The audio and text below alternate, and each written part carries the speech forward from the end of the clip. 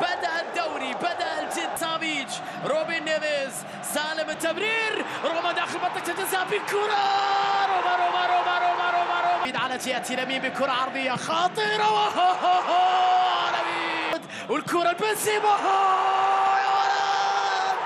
سافيج يحاول ابعاد الخطر. بعد ذلك خاطئة وكرة يا إلهي. ميشيل يلعب كرة عرضية. بالراس وكرة. مترو!